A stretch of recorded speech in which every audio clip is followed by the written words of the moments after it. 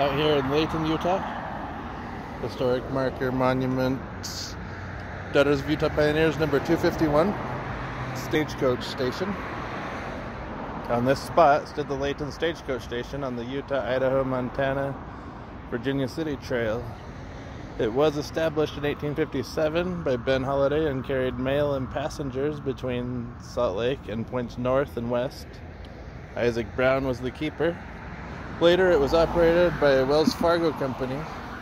The Prairie House nearby was built by Christopher Layton in 1857 to accommodate stagecoach passengers.